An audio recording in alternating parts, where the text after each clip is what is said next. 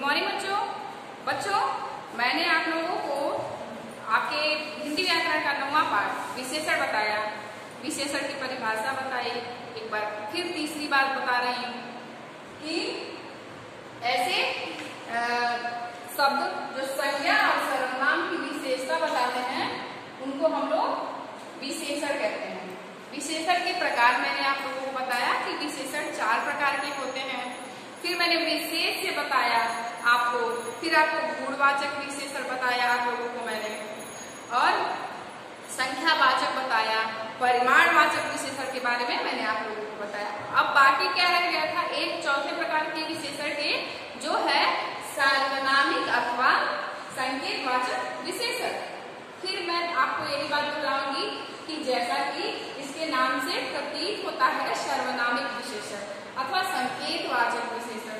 जैसे सर्वनाम मैंने आप आप लोगों को कुछ कुछ समझ में आ रहा होगा, अगर नहीं आता है तो मैं आपको समझाता हूँ। देखिए, जो सर्वनाम शब्द सर्वनाम शब्द यानी कि मैं हूँ मेरा, हमारा, हम, समझ रहे हैं ना, जो संज्ञा के स्थान पे वाक्य में प्रयोग होता है। यानी कि वह सर्वनाम शब्द संज्ञा से पहले रखकर उसकी विशेषता में जानकारी देते हैं ठीक है संज्ञा से पहले लगेंगे और उसकी विशेषता के बारे में आपको बताएँगे उसको हम लोग कहते हैं सार्वनामिक या संख्या वाचक है सार्वनामिक अथवा संकेत वाचक विशेषण ठीक है यानी कि जो शब्द संज्ञा जो सर्वनाम शब्द संज्ञा से पहले लगकर उस सर्वनाम की विशेषता बताते हैं। उनको हम लोग सार्वनामिक विशेषण अथवा संकेत वाचक विशेषण कहते हैं।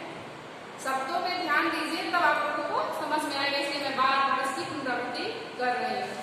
ठीक है? यानी कि अगर शब्द है वह, सर्वनाम शब्द हुआ और वह की जब विशेषता बताता है, वो आपका सर्वनामिक विशेषण होता है। संकेतवाचक विशेषण होता है। ठीक है? यानी कि वह, जैसा कि मैंने आप लोगों को अभी बताया वह ये क्या है सर्वनामिक ये क्या है? सर्वनामिक शब्द है ना? सर्वनाम है ना ये? तो सर्वनाम, वह लड़का। अब ये क्या हो वह सर्वनाम की विशेषता है क्या? कि वह लड़का है, वह लड़की नहीं है, वह जानवर नहीं है, वह लड़का है। और लड़का क्या है? वह लड़का